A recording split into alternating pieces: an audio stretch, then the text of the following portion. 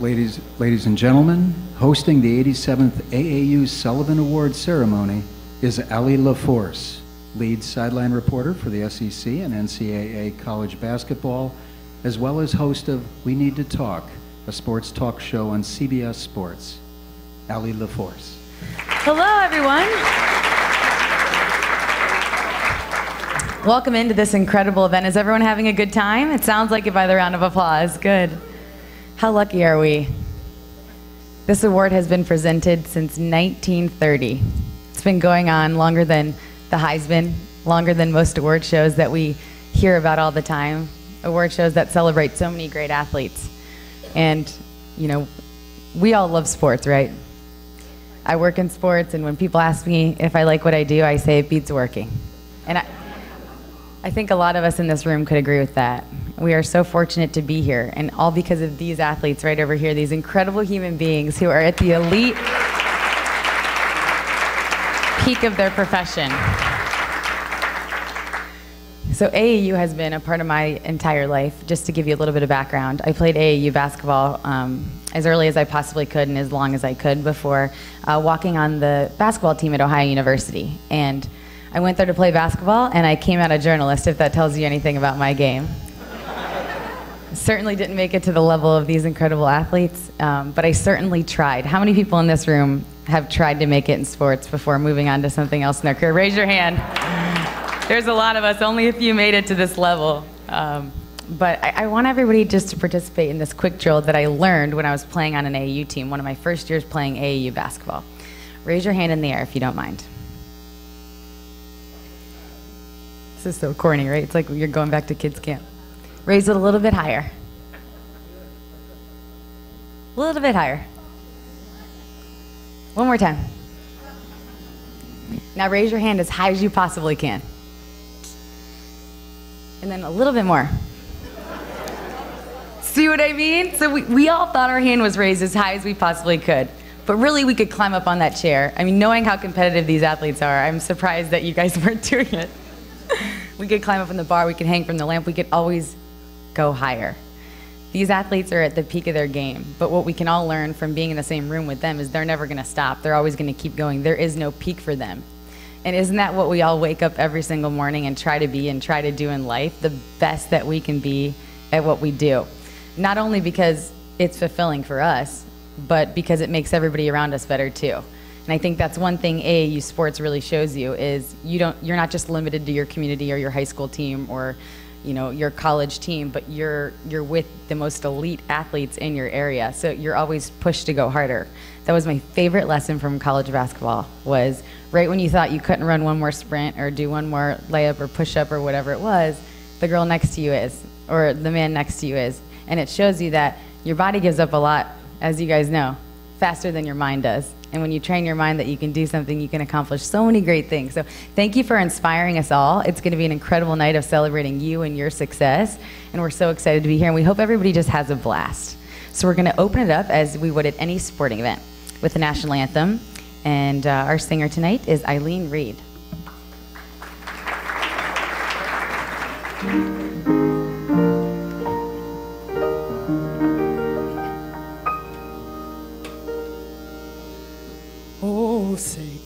You see by the dawn's early light what so proudly we hailed at the twilight's last gleaming, whose broad stripes and bright stars through the perilous fight, o'er the ramparts we watched, or so gallantly streaming and the rocket's red glare, the bombs bursting in air, gave proof through the night that our flag was still there. Oh, say, does that star spangled banner yet wave o'er the land?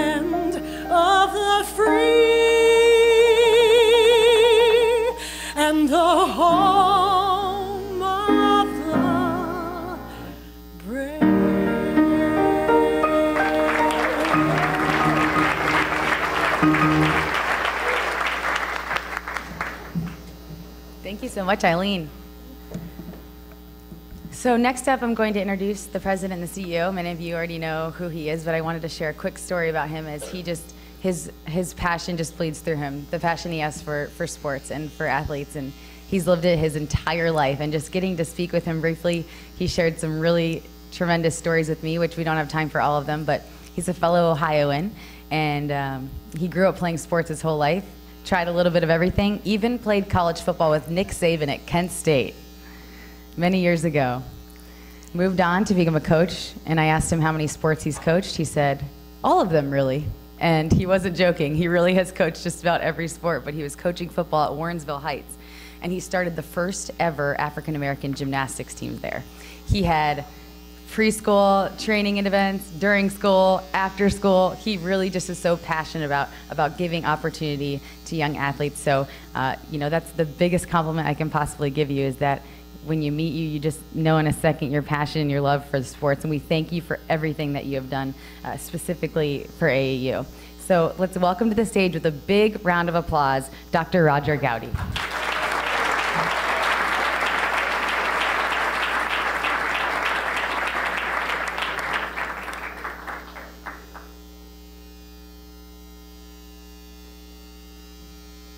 Welcome. What a great turnout tonight. We moved this back to the middle of the week. We found out New Yorkers don't come back into town on the weekends. We were running this on the weekend, and we moved it back, and what a great response we got. So thank you all for coming. But first, before I start my comments, I'd like to bring Allie back up. And she was an AAU member when she, in her youth, so we thought it would be appropriate to get her an AAU membership so she's officially up here. In case she falls and breaks a leg, she's insured.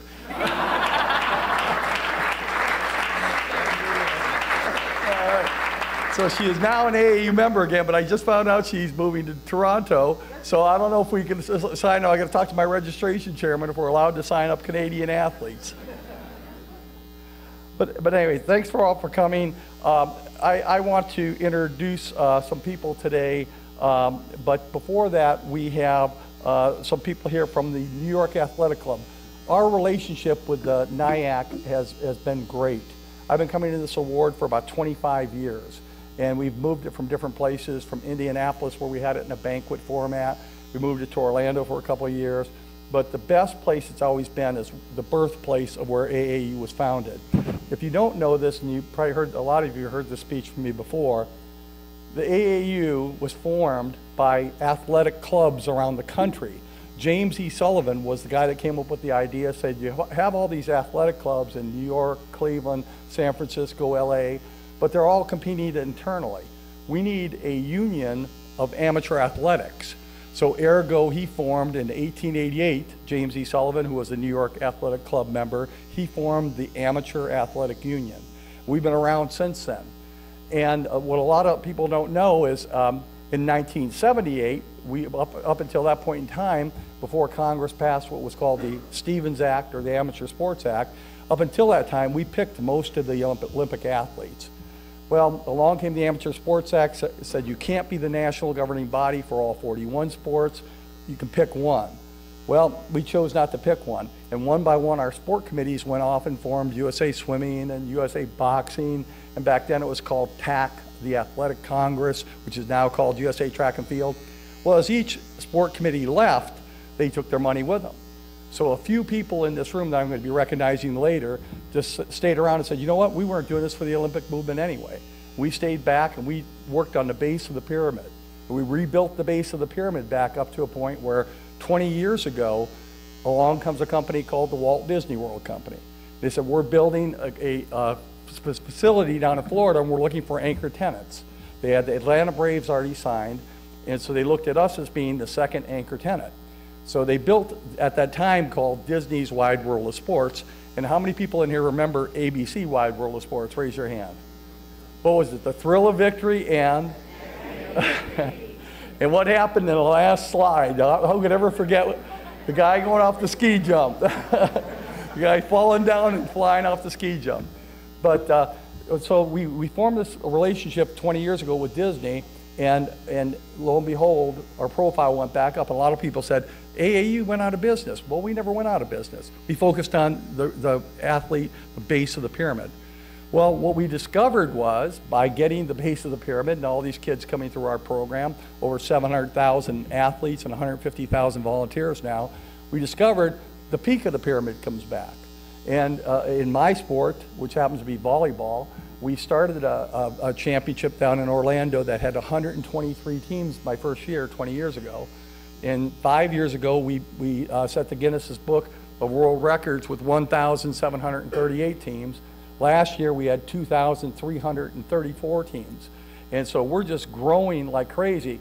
And last year at our national championship, that's at least in volleyball, we had nine of the top 10 teams in the country. So by, by maintaining the base and uh, providing good quality programs for athletes all over the country and around the world, we in turn have done what everybody else is trying to do. We brought the, the great athletes back again. And some of these kids did compete AAU, some of them didn't, but they're phenomenal. What, what a class we have this year. It's just unbelievable. I mean, it's a who's who in America there. And then uh, it's a,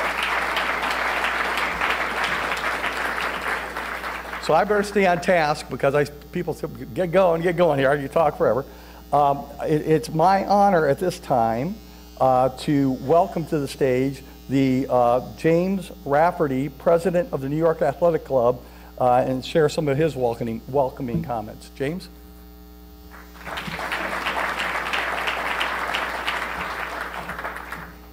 Thank you, Dr. Goudy. Good evening. You know, we learn something every day, I think, and uh, I think a lot of our members didn't realize that James E. Sullivan in 1888 was a member of the New York Athletic Club.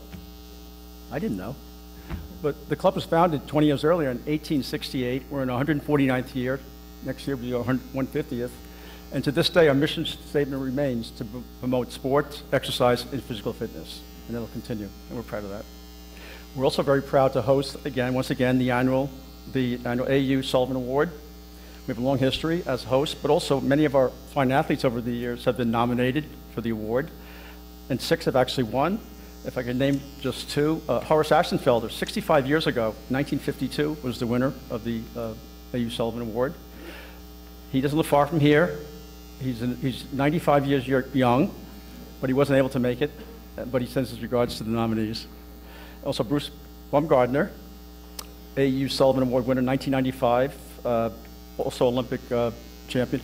Uh, Horace Ashenfelter was the Olympic gold medalist in Helsinki. Bruce Baumgartner, Olympic gold in LA in, in 1984, and also Barcelona in 1992 in wrestling. I'm also honored tonight to sitting next to one of my boyhood heroes, the 1966 AU Sullivan Award winner, Mr. Jim Ryun. Thank you.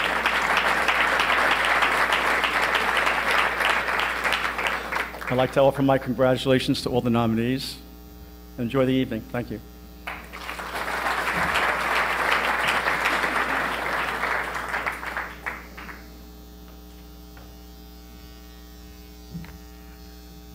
Well, I have the dubious distinction to recognize all those folks in attendance that are important for the AAU. So I'm going to bore you for a few minutes here, but these people, without these folks, we wouldn't have 700,000 athletes. Without these folks, we wouldn't have 150,000 volunteers across the country.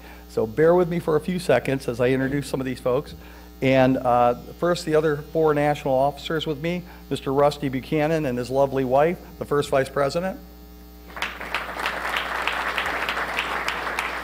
Our, our second vice president, Mr. Matt Williams, was unable to make it tonight, but he's uh, called and sh- uh, shared his uh, hope that all goes well, and he's excited about this, as all of us are. Our national treasurer, treasurer, Mr. Joe Mirza, and his lovely wife. And our national secretary, uh, Cindy Trombley Martin. And I'm going to do this group in one fell swoop because it'd take forever if I didn't.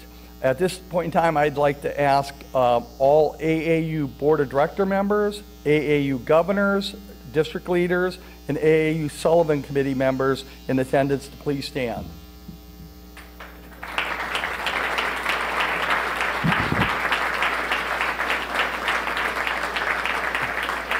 I, I can't see you all, but I'm telling you, that's just a small part of our organization, but they do so much. Without them and without their support, I couldn't do what I'm doing with this organization. We couldn't do what we're doing with this organization. These are just great people that give selflessly of themselves and go out there every day and do good things for kids.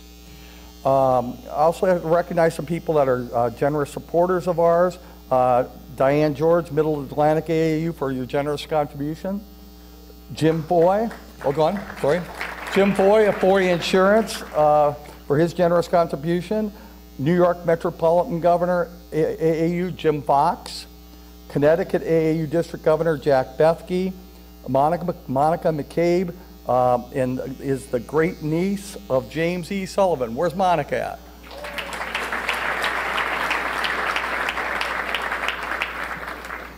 And last but by no means least, I'd like to recognize some of our corporate partners.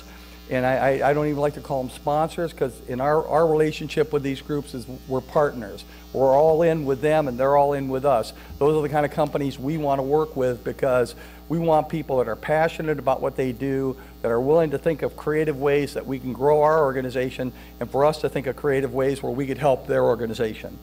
Uh, those people would be David Lindquist from Gatorade. David? Okay. David Cordini and Jonathan Hovis from Spalding. Dennis Wright and Brian Taylor from Nationwide Insurance. Matt Steffi and Brandon Holloman from Blue Star Sports.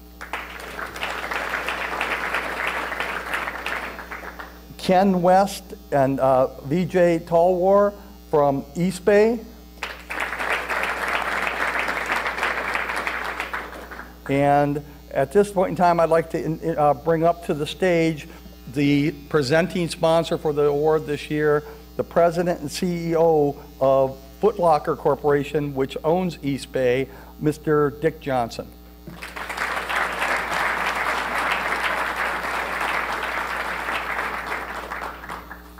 So Ellie had a nice little digital thing. I'm an old school guy, so I still have paper. But uh, I want to uh, say good evening and, and thank you for the warm welcome, Dr. Goudy.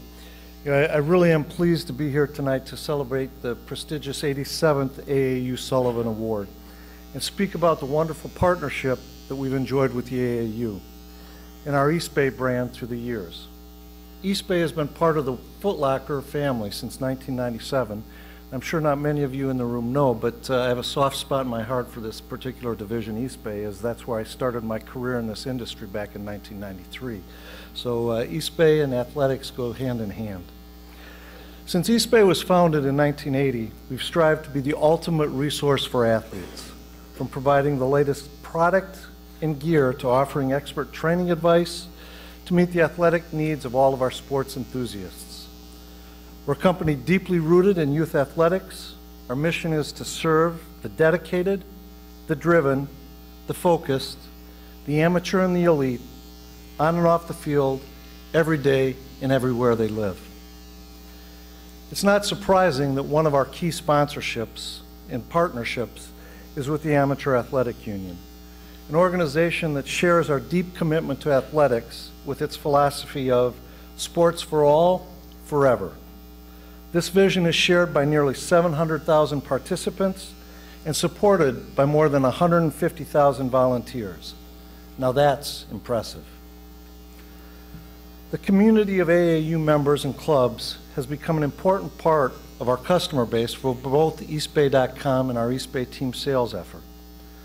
We are proud of the many initiatives we have been a part of with the AAU over the years from providing exclusive offerings to support membership registration, to being the official AAU apparel store, to activating joint promotions through our online team stores, to supporting many of the AAU's national championships. We are especially proud to be the presenting sponsor of tonight's event and announce our extended commitment over the next five years. It is so rewarding to be part of a program that showcases and celebrates the nation's best amateur athletes, right up here in front, and honors the incredible contributions and accomplishments of outstanding athletes and individuals across a myriad of sports.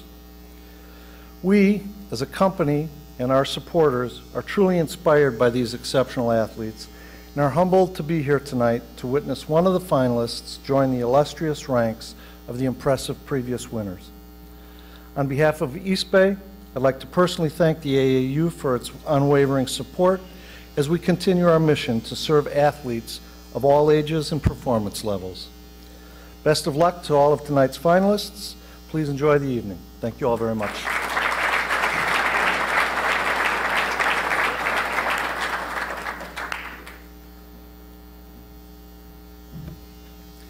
I just had to ask somebody what's PPT stand for on my note cards here. I guess it's a PowerPoint presentation.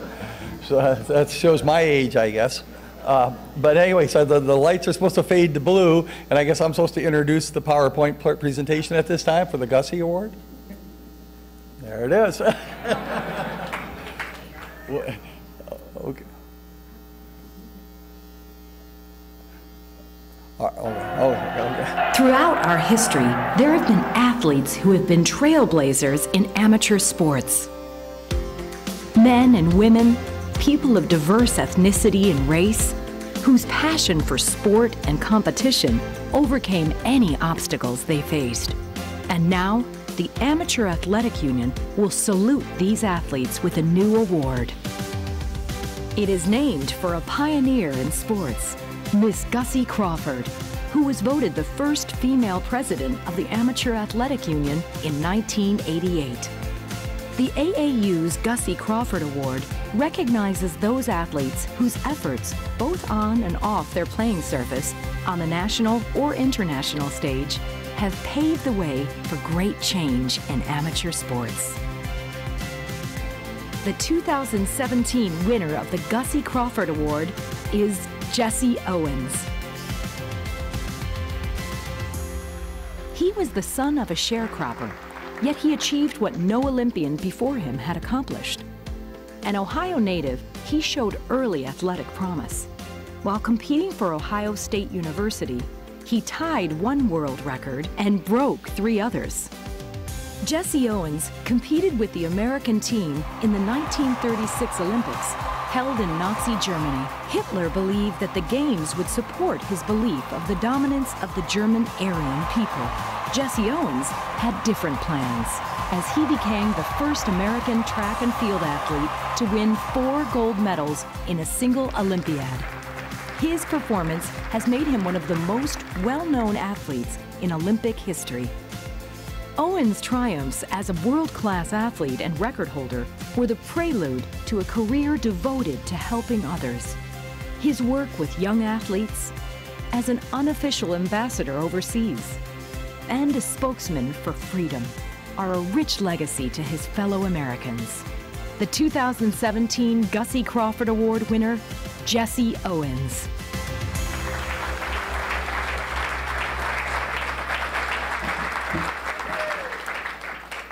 The AAU started this award, this is the first of annual award, and in the purpose, the reason we started this award, so you have some semblance of why we're doing this, we're looking back at all, in, in our headquarters, we have all of the past winners of the Sullivan Award. And I, and I happened to see the movie Race, uh, which is about Jesse Owens. And I went back to 1936 and looked and saw, saw who won it. Well, it wasn't Jesse Owens. And I'm thinking, how could we possibly have you know, a guy that won four gold medals under those, you know, that kind of duress and wasn't recognized. Well, we didn't have a mechanism to go back in time. So I came up with the concept, and our board of directors approved it, of having an award that would kind of go back in time and we could right any wrongs that happened. And we thought, what fitting, what more fitting a person to start this award with would be Jesse Owens. And what more fitting a person to name this award after would be Gussie Crawford, who is, she smashed the glass ceilings years ago and continues to do that. I mean, she's, she's not only the, uh, she's the first, but the only female president of the AAU since uh, 1888. Uh, she's been actively engaged in her community.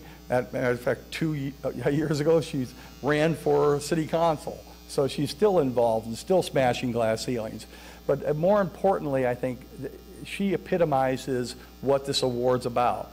It's about fairness. It's about looking at the body of work of an individual, regardless of race, creed, or color, and saying, you know what? This person deserves to be recognized. And, and at this point in time, I'd like to bring up to the stage uh, Miss Gussie Crawford.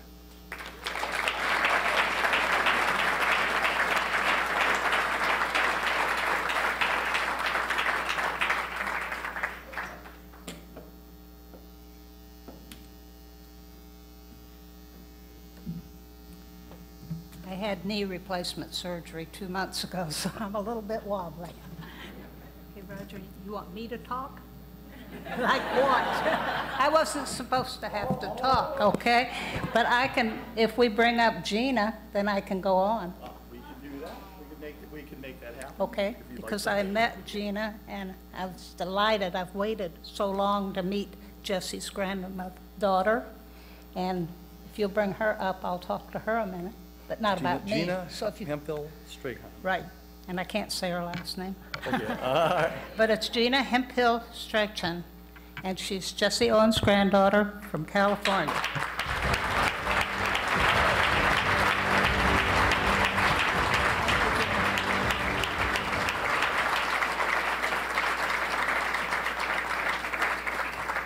I've been waiting a long time to meet Gina, and the first thing I asked her, and this has nothing to do with sports, but I think it's very, very important, it is to me anyway.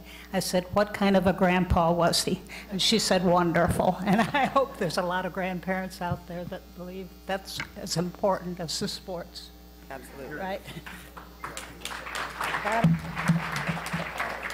Got it? It's heavy, Gina. Okay, I'll handle it. Thank you so much. You're welcome.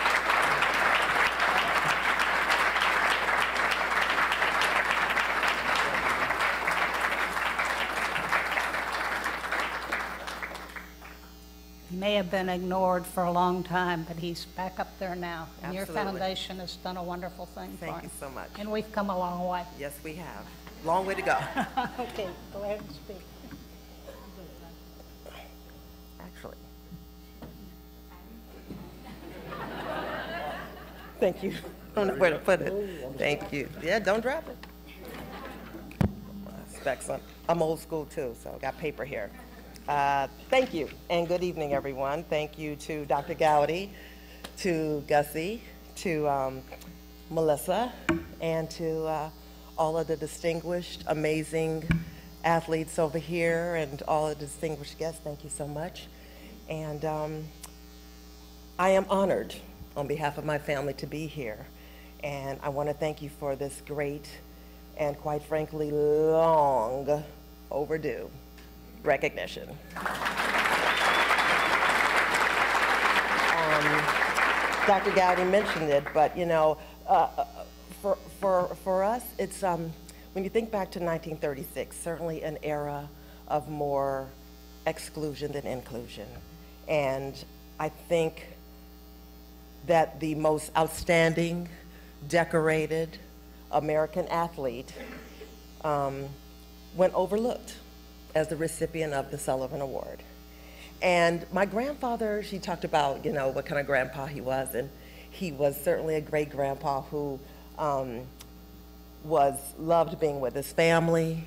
He loved traveling. He loved speaking. But he was a man who never searched for recognition. It just wasn't who he was. It wasn't in his spirit. It wasn't in his heart. It wasn't his purpose. However, the lack of recognition for this particular award, it didn't make him angry, but it actually saddened him until the day he died. And I think, I, I don't know why, perhaps because of everything that he had to go through and, and be at, in the Olympic Games and the time and the era. But it's one thing not to be recognized by your country, but it's another thing not to be rec- for the color of your skin, but it's another thing not to be recognized for your contribution. And he, his contribution, not just on the athletic field, but off to this country, was incredible. However, it's a testament to the changes of growth and is a testament to the changes of progress that I'm able to stand here tonight and accept this award on behalf of my grandfather. It celebrates so much more than just his remarkable athletic um, accomplishments, but it celebrates the impact that he made as a man in this world. You know, my grandfather, I often show stories. People ask me, you know, what was he like? you know, did you have a chance to get to know him? And I went to college in Arizona at ASU, and at the time, they had moved to Phoenix, and um, because he wasn't sick, sick at the time, they were living in Chicago, but they wanted to move to Phoenix to really kind of live that retired life. And um, I went to ASU, and everywhere we went, if we went out to dinner, if we were at a basketball game, wherever, there was always somebody who recognized him and had a Jesse Owens story. Even to this day, I was on vacation in Cancun with my family, and we were sitting and talking, and somebody came up, and we were talking, and somehow or another, my granddad's name came up, and this guy shared the story. Oh my God, my grandfather met your grandfather, and he told this whole elaborate story. So everybody had a Jesse Owens story, and it went to it. It went to the fact of how humble he was. He never got through a meal without somebody coming and say, "Mr. Owens, can I take a picture?" Mr. Owens, can I have an autograph? Mr. Owens, can I tell you a story? And for me, for the athletes of today, I think it's important that they hear those stories and that they understand the importance and the impact that they have, not just on their sports and their communities, but on this world. And it is important to keep those things close to your heart and stay focused as well and keep them close to your, just keep them close and remember them. Um, he was an amazing athlete and an even more amazing man, hardworking, dedicated, loyal, trustworthy, all of those things, and grateful for all the opportunities afforded him. And through his life, he used that power of sport to motivate, to inspire, to encourage, especially young people. And it is really with a great sense of pride that our, our family, to our family, that his legacy, 81 years later, 81 years later, is still relevant. That his legacy is still relevant, and that he continues to inspire people, across the globe to stand in their power, to be a contribution to their communities, and to achieve their best always, no matter what that takes. So, on behalf of my grandfather, may he rest in eternal peace, and the entire Owens family, it is with great pride that I stand here with gratitude and respect and accept this award. And I thank you. Thank you very much.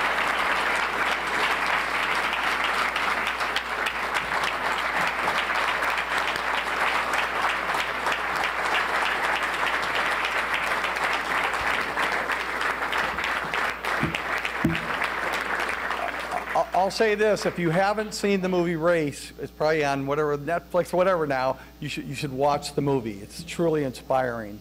And uh, I, I learned from Gina that th- her mother, who's portrayed in the movie, and her two, uh, two sisters are all still alive and living in Chicago.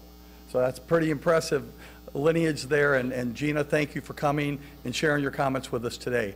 Uh, At this point in time, I'd like to welcome back to the stage our MC, Allie LaForce.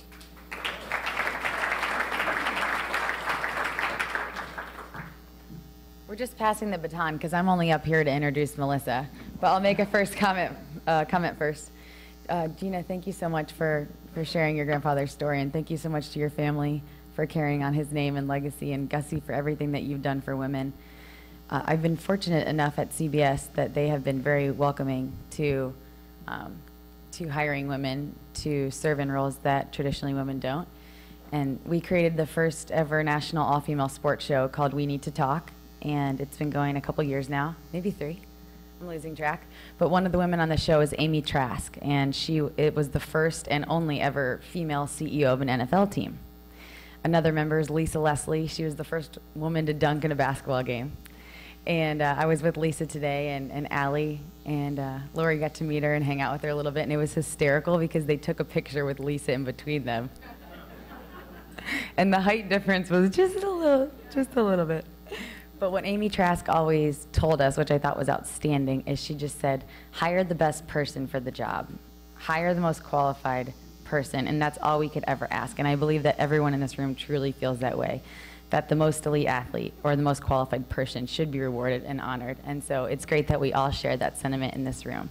So with that being said, I welcome to the stage Melissa Willis, AAU Sullivan Chair, another outstanding female in the room tonight.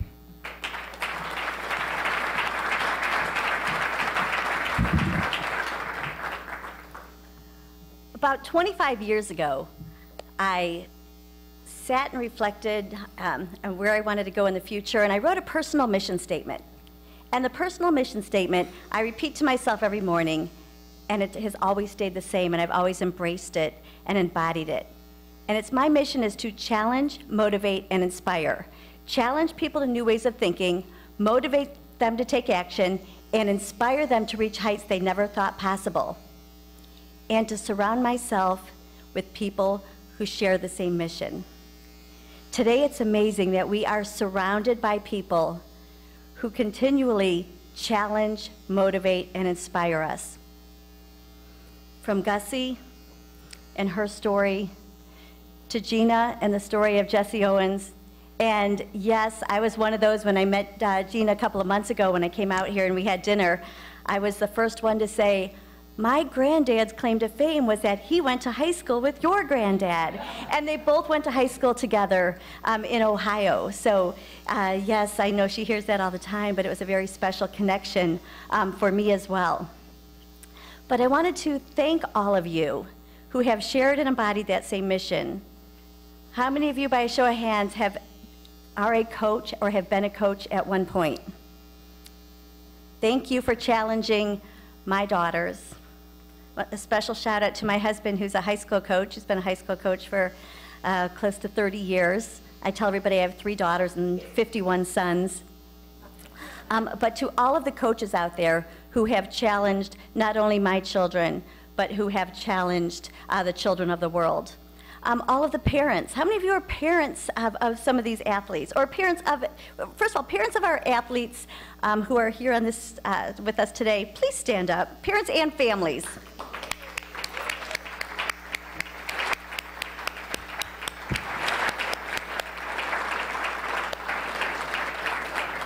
Special thank you to all of you for, for motivating your children who have then inspired us all um, in this room.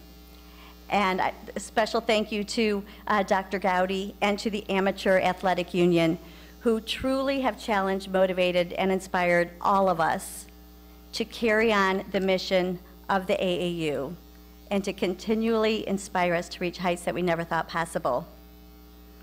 Now, this is about the athletes, and what I'd like to do is share a little bit of uh, history through the video of the AAU James E. Sullivan Award.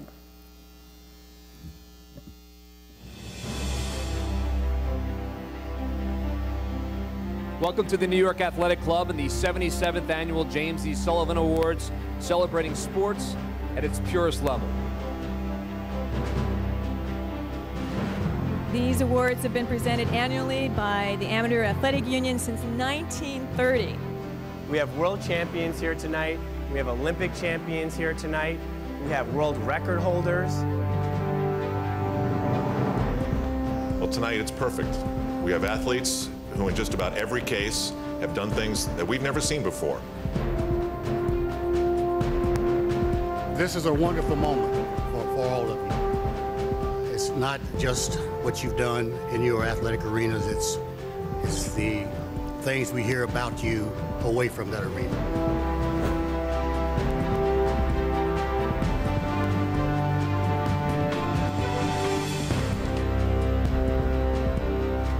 Think the special thing about the AAU James E. Sullivan Award is that it represents all sports. Some awards, like the Heisman Trophy, represent the sport of football, but the Sullivan, in fact, represents the Amateur Athlete of the Year covering all sports. It's been around for 80 plus years, and we've had some remarkable winners. Look at all the past winners, and uh, just to think that I'm in the same class as those athletes, and uh, just the people that I was running against. And, uh, those those athletes they just have accomplished so much. I mean, people winning Heisman's, um, multiple gold medalists, and, and to be a part of that group is just phenomenal. As an athlete, we put in so much work every day towards a goal years down the line, and to be recognized and have everyone come together for something like this is really special.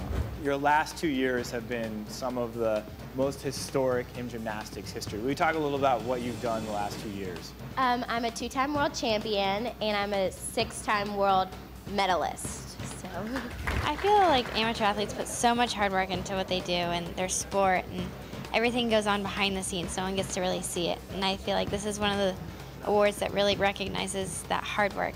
You know, you hear about athletes all the time, you know, doing great things on the field, and um, the cool thing about people that I've got to meet here is what they do off the field.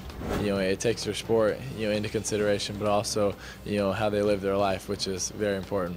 It really is about you know the character and um, the striving and the, and the effort and, and the moments that get you to, to be the best athlete, but also be the best version of yourself. And I think that's what we respect so much about amateur athletics.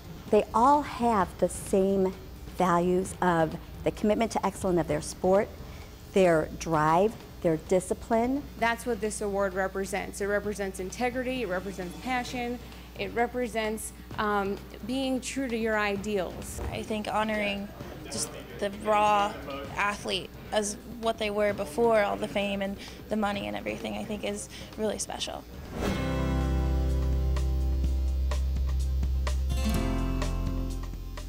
And what a better way than to be in the venue like the New York Athletic Club that is just the epitome of amateur sports. Thank you to New York Athletic Club. I am a member and a world champ for you guys, so it feels good every time to come back to the AC. The New York City Athletic Club is a historical prominence in the field of amateur sports. Along with the AAU, was founded out of the New York City Athletic Club, I think we are out there and we represent those values, ideals, and dreams that kids have of being the best you can be in the field of amateur sports. You know, it's a huge honor for for us that are really working hard that you know maybe don't get the support that well, you know the professional athletes do. You know, we put our heart and soul into what we do every day, and so to to have people see that is, is really huge for us. I think it's really great to recognize uh, am amateur athletes and everything that the AAU does uh, to promote amateur athletics. And I think that that's one thing that the AAU does very well is they consider athletes in such a wide variety of sports and, and they bring recognition to sports that maybe wouldn't have necessarily had that spotlight shined on them. Our mission says sports for all forever. This truly uh, accentuates what we're about as an organization that sports for all forever, and we want to recognize all those people that have achieved greatness in amateur sport. This will have an incredible impact on my sport because, uh, again, it shows that you're never too old to strive for something. You're never too old to have goals out there, and you will have a chance to be recognized, and that's what we all look for. People don't remember titles that you've won three years down the road. What people remember is your character, your passion, your heart, everything that the Sullivan Award defines. The qualities that you learn as an athlete are so important, um, and so to be a part of this group is really an honor for us. Regardless of the sport, we want to recognize all of those athletes, and they're truly all winners just being here today. I am an amateur athlete in, in its purest form, and, and I perform because I love it.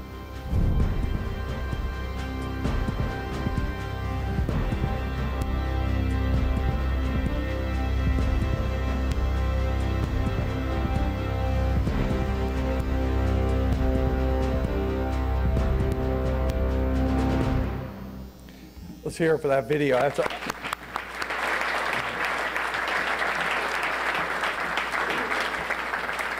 One of the things we're challenging with and we're wrestling with, like the rest of the world is, is defining what an amateur is. Our world is ever changing, and we have a, uh, AAU now has a committee in place that is going to evaluate and look at what define amateurism because it's such a changing world, and uh, it's it's a tough, tough question, but. We truly have the best amateurs in the world here today with us, and we're getting there. We're going to be announcing it soon. You don't care about any of this stuff. You just want to know who won. so, so, we will get there. But I, one more person, I, am really grateful uh, to uh, one of our AAU members who approached me at our convention this year, Jacques Raphael from our Florida district. And he said, you know, would wouldn't it be great to have Jim Ryun come speak at our Sullivan Award? I said, if we could get him, it would be great. He goes, well, I know him. And so, lo and behold, He contacted him, we connected, and uh, Jim uh, was gracious enough uh, this morning to speak to the athletes at a breakfast we had, and he's going to come up here to say a few words to you today. Uh, the great uh, first time uh, sub four minute miler from Rock Chalk Jayhawks, Kansas, Mr. Jim Ryun.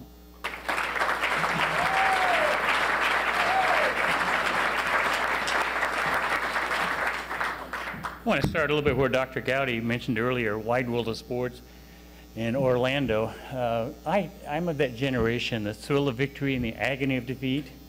And I know some of you can identify with that.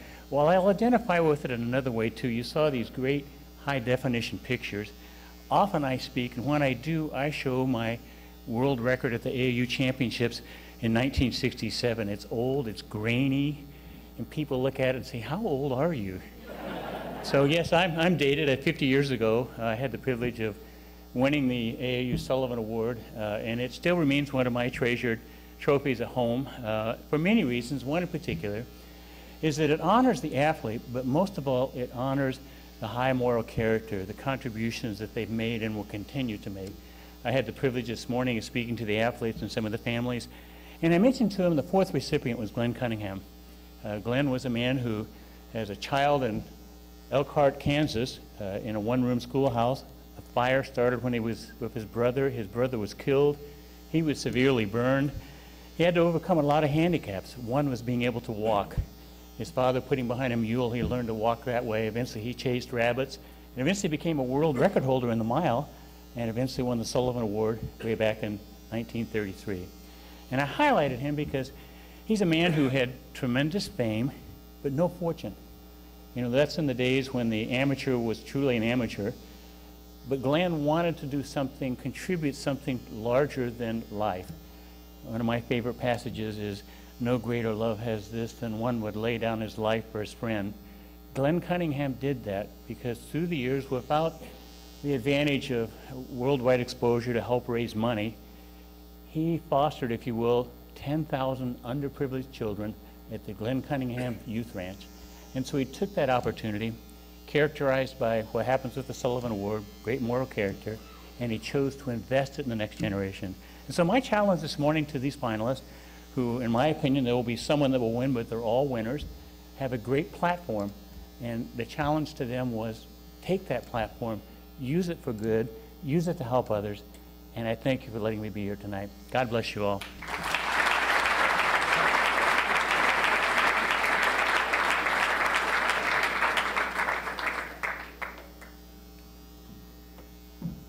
So much, Jim. All right, so we're getting closer to naming our winner and handing out the prestigious award. But first, we're going to take a look back on the incredible highlights that we've watched from these athletes over the last year.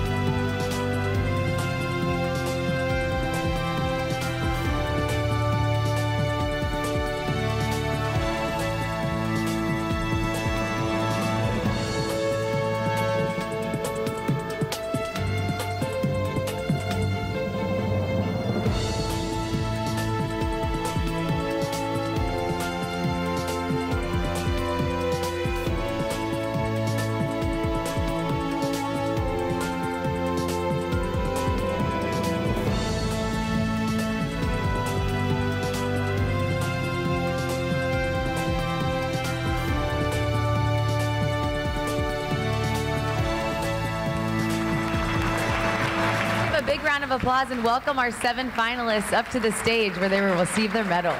Come on up.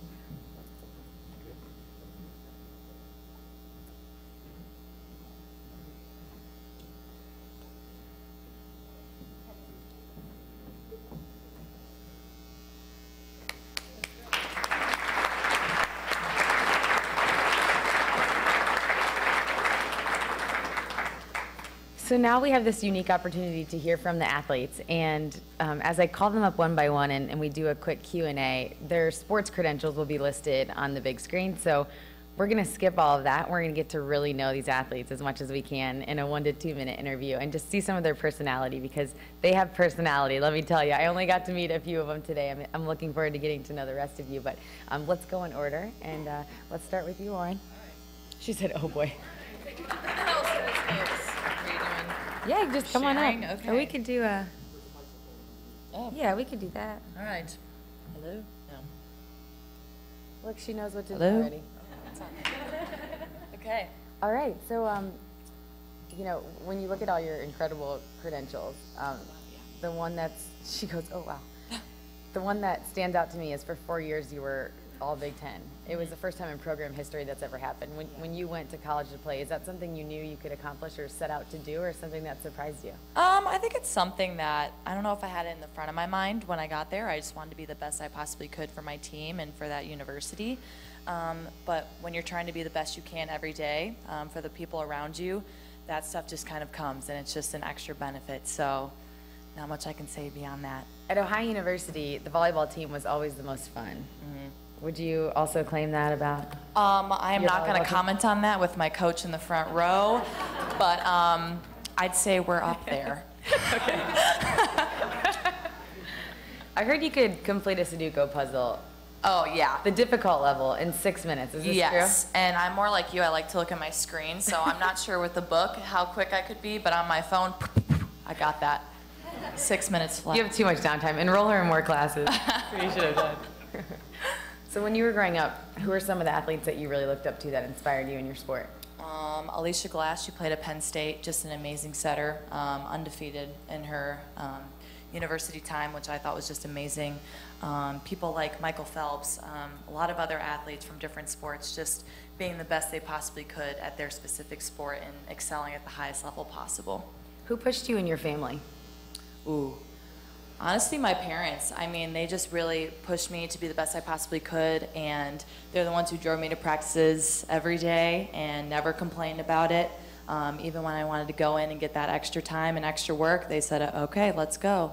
Um, and they were always willing to do that. So thanks, guys. Shout out to the parents. That's right. I'm getting confused about your personality because okay. I'm reading that someone could pay you $20 million and you still would not go skydiving. No.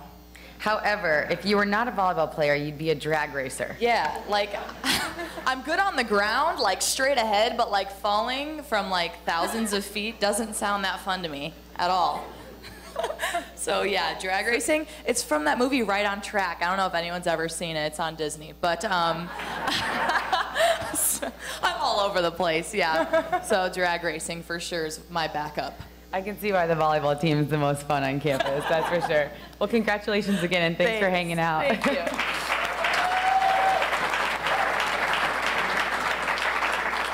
okay, Kayla, come on up. Go, Kayla. Go, Kayla. So first of all, I have to give a big shout out to your boyfriend who's in the room. One year anniversary yesterday. Hi, babe. You, you can hold this. I'll set it here. Hi, Kiwi. That's my pet name for him. Don't be embarrassed. It's fine. These are my friends. He was helping me practice a jujitsu because I was thinking, how in the world did you find a man who was not so intimidated by you that he would be He willing confident to man. date you? But you guys He's do dated me for a year. He's a confident man.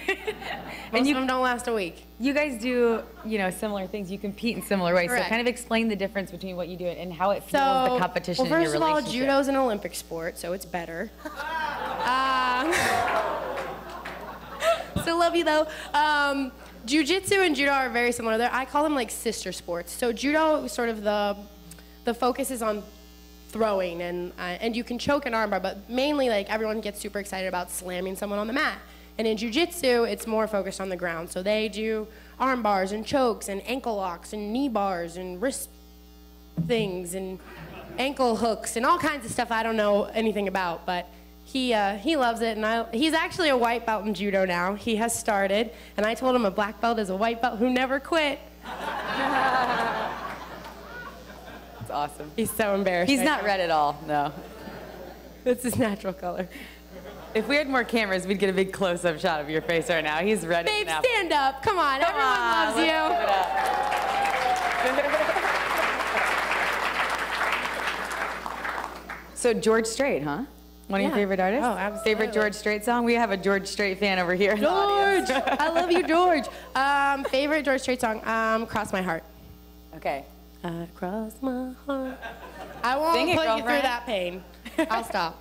So I noticed you made it on the stage safely, and I heard a story that you had this massive fear of walking onto the stage and not tripping, but that fear actually became a reality. Yeah. So Tell that story. I do a lot of motivational speaking and public speaking, and I've been doing it since 2012. So it's not like it's fresh or anything, but I think like two, three weeks ago, I was giving a speech um, in Florida, and I don't know, I was tired. I they made me wear heels. A lot of times, like when I give a speech, I'm like, hey, by the way, I have Team USA gear. It makes me look like a superhero. That way, I don't have to wear heels. But this one, I had to wear heels. And as I was walking up on the stage, one of my biggest fears happened. I fell, and I was like, oh. And then, but I got up there. I wa- walked up to the mic, and I was like, well, that's an icebreaker. And then I was like, the good news is I learned how to fall for a living, so it's fine. and then I brought someone up on stage, and I threw them, and they forgot about the fall. So That's awesome. What a great story. Now you're not nervous anymore, right? no. Okay, good. Well, with If I Foot fall, Locker here, we, I think we could get everybody some comfortable sneakers, so that would never happen, right? I noticed that you had that. And by the way, I'm holding paper, not an iPad, for all the jokes about me using It's the latest in technology paper, though. Oh, yeah, that it's looks. the, the special printing. It's that's presented by Eastbay Paper. So, so fancy. Thank you so much Thank for your you. Thank entertainment. you so much. If you, if you will, just pass the mic along. Like I said, this group has no personality. Hey, Lori, how are you? Hi, I'm good. How are you? Good. So, what's been the highlight of this trip to New York for you? Ooh, well, we got to see the Empire State Building today, and we went pretty high up, and that makes me want to go skydiving. I would go skydiving for no money, so I'm just saying. When you look around and you, you look down your row and you see all these incredible athletes that you get to experience this trip with, like what goes through your mind when you just look around? It truly blows my mind because a year ago it was it was like making sure that I could do the best of my abilities in my sport and so being able to achieve all my accomplishments as a gymnast and as an athlete and being in a room where all these athletes have achieved their goals and they're striving for more, it's an honor. Okay, so you're afraid of spiders, right? But you can go flying through midair, you know, when you release, and you're not nervous at all. But if a spider comes along, you freak out. Explain you couldn't that. give me 20,000 to be in a room with one spider, but you could pay me nothing to go skydiving. So That's pretty awesome. I don't like Um, spiders. You, you've achieved so much at such a young age. Uh, you know, it's something that every parent dreams of for their child, for sure. But what people don't realize is that none of this came easy. And so, was there a moment where you thought I couldn't do it, or that you wanted to give up, or you thought maybe it's not worth it? And what got you through? There definitely was. I mean, there was the year of 2014 where in January I had fractured my growth plate, and then finally I came back and I thought, like, you know, it's my chance to come back and, you know, revive myself. And um, in June of 2014, I was doing a skill and I dislocated my knee and had to get surgery. And so I was basically out for the rest of the uh, year and for that meet season. And that was really discouraging because I was watching my teammates and I, I wanted the best for them. And i was watching them compete and i was sitting on the side and just kind of longing to be out there but instead i was on the couch trying to rest and make sure that i get better. But it was really my family who helped me get out of that and um, they reminded me that you know whatever you do we support you but we believe in you to come back even stronger and that gave me the motivation to come back. Well, congrats on all your success, and thanks for sharing your story with us. thank you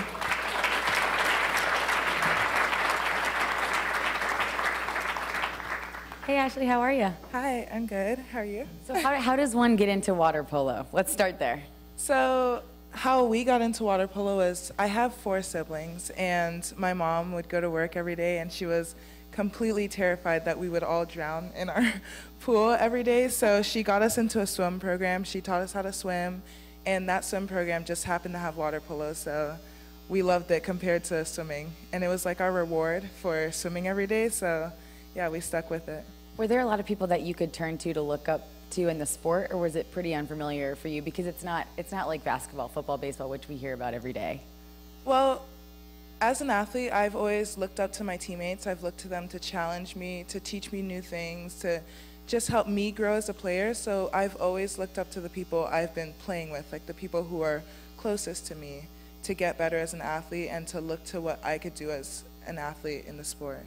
So what would you tell young athletes that were looking up to you?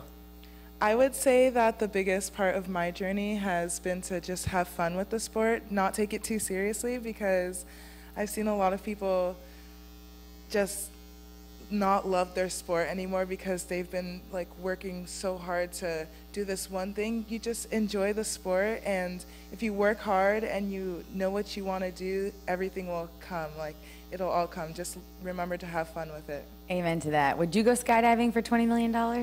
I'd do it for a dollar. Congratulations. Thanks Thank for your you. time.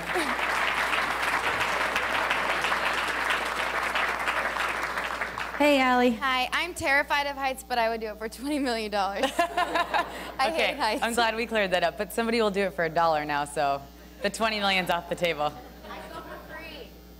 Yeah, wait, what did you say? If someone put you in a room and they got gave you twenty thousand dollars, you wouldn't be in a room with spiders? For twenty thousand?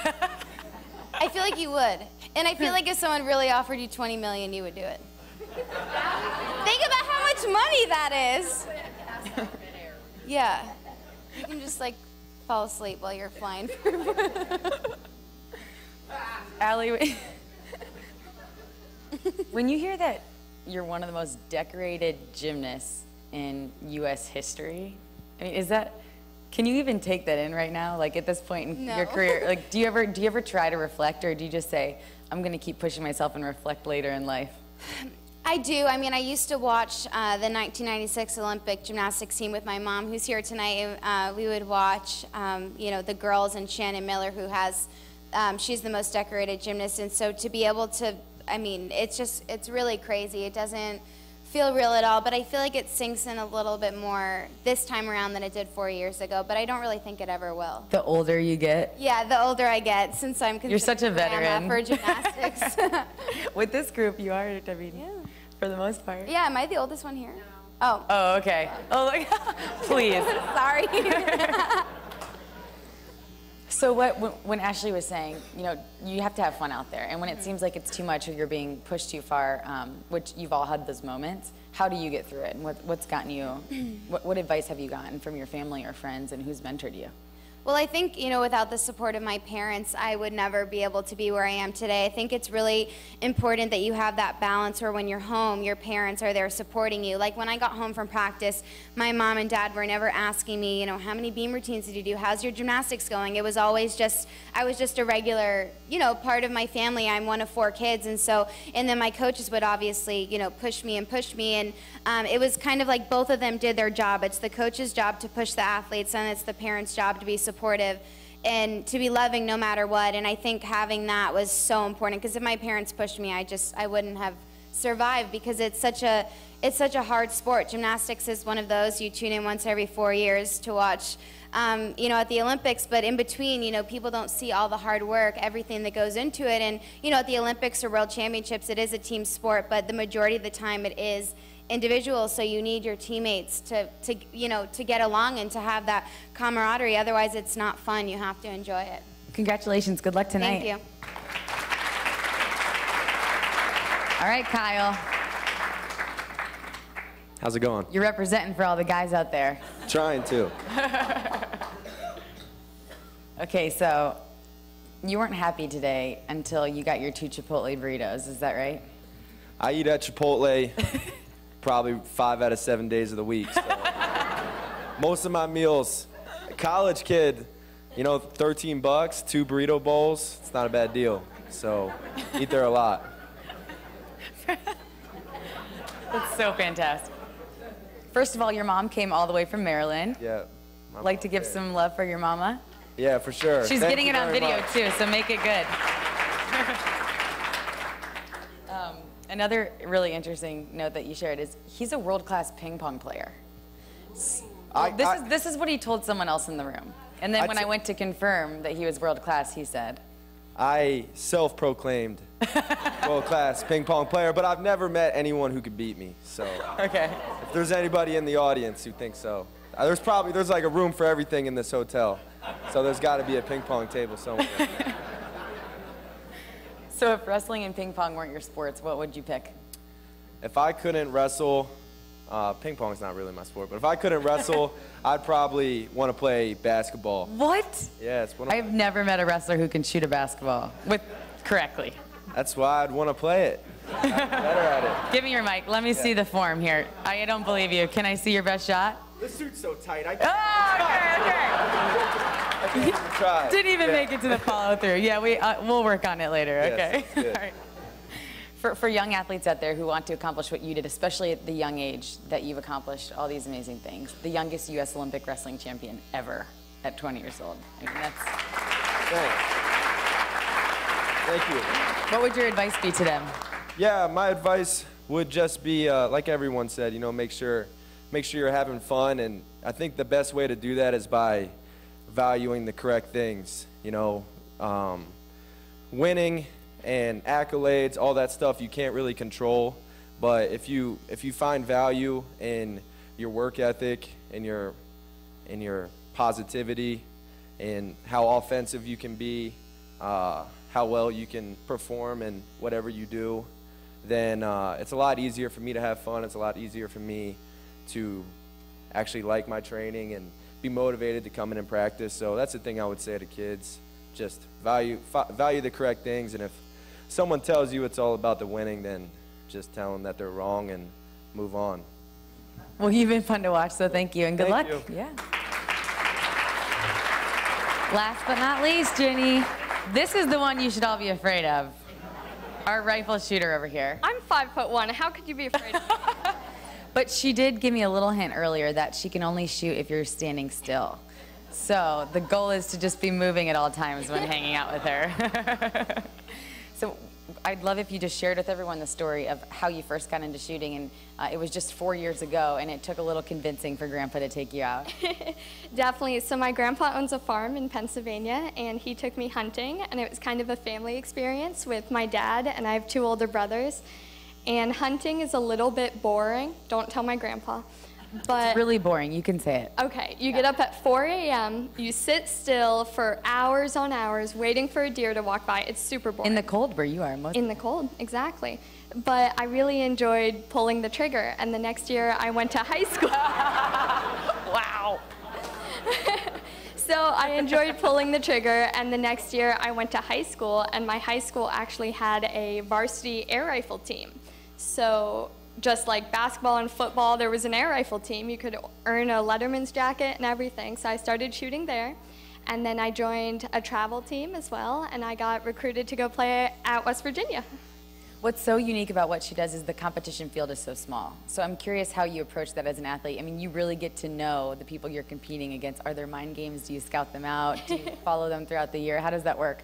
I try to just focus on myself and controlling what I can control, but it's great because it's such a small community and everyone's working so hard towards the same thing. So in the college circuit and the international circuit, you really get to know your competitors. She's so intelligent. She's a biochemical engineer major. Biomedical. Biomedical. Sorry. Oh, yeah, no, I got that. I thought you said biochemical. Either way, it's equally impressive. Biomedical engineer at West Virginia. How do you balance being elite at what you do, studying what you study, and also being a normal person at the same time? I don't sleep. Okay. I mean, it, you definitely have to find balance, and I have a great support team at West Virginia and with my family and everything helping me to, to balance that life. Well, congratulations. Good luck. Let's give it up one more Thank time you. for our seven finalists.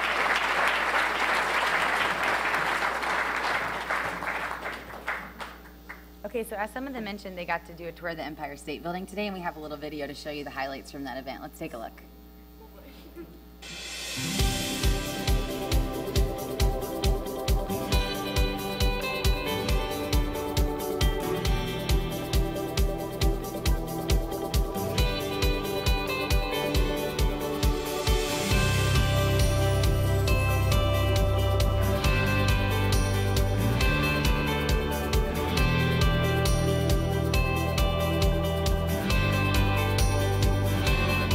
Exciting to be a finalist for the AAU Sullivan Award. Feels great to be in New York City. This is my first time in New York City, so I'm trying to see as much as I possibly can.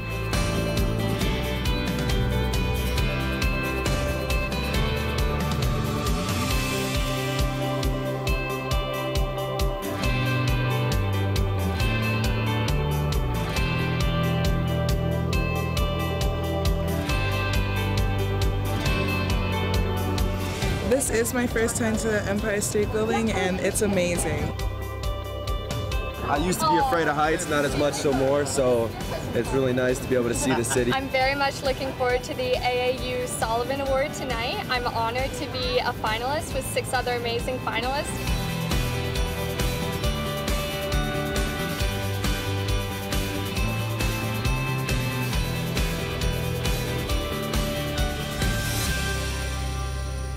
Right, making the most out of their trip to New York City. Dr. Goudy and Melissa, it's, it's the moment we've all been waiting for. It's time to announce the winner. So let's bring you back up to the stage and find out who won. bore you with one quick thing here. Just want to, uh, over the uh, history of the award, you saw them all posted out there. We've had 34 track and field winners, 10 swimmers, eight football players, six basketball players, four figure skaters, three gymnasts, three speed skaters, three divers, three wrestlers, two oarsmen, two golfers, one Paralympian, one ultramarathoner, and one baseball player and one tennis player. So you can see it's a pretty diverse group, and uh, it, it really accentuates the beauty of this award. Uh, the first, I, I want to give one more round of applause to this.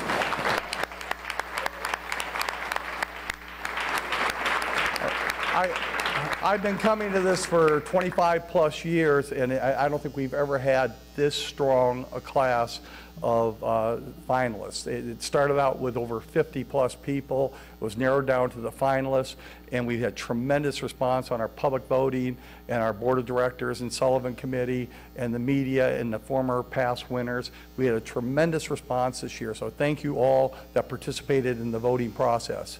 But now's the time, and Melissa's here. Can we have the trophy, please?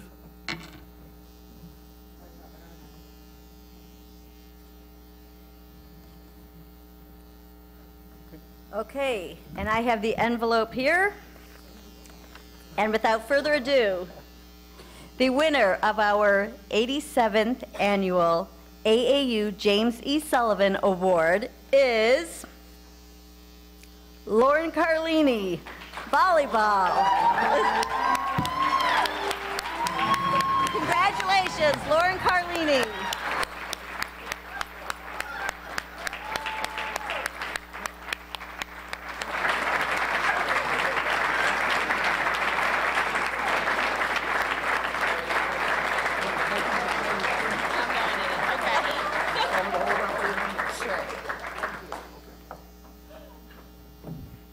Okay, I'm not gonna lie, I didn't prepare a speech. Um, wow.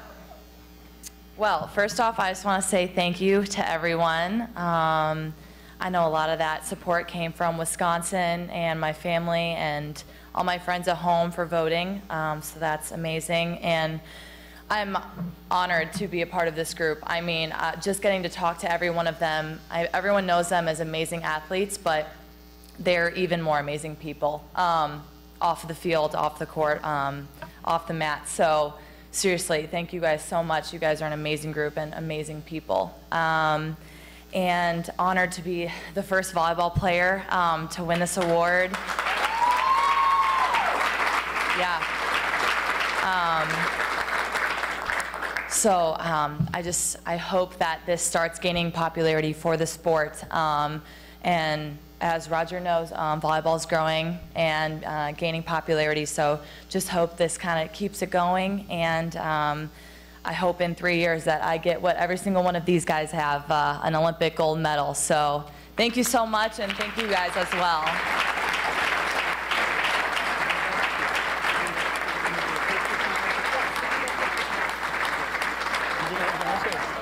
Uh, I want to thank Allie LaForce. What a great job she did for us. And Melissa Willis, our Sullivan Chair, and all the AAU staff that helped with Melissa with this. Let's give them a round of applause. I believe now it's time for pictures. Okay, I guess now we have time for pictures, and the athletes will be milling around. We're going to take one group picture up here, I guess, and then you'll have a chance to talk to the athletes, take pictures with the athletes. So families, come on, you know, we'll get, we get, got plenty of time to get pictures with everybody. Thank you all for coming. It's been a great award ceremony this year. Thank you.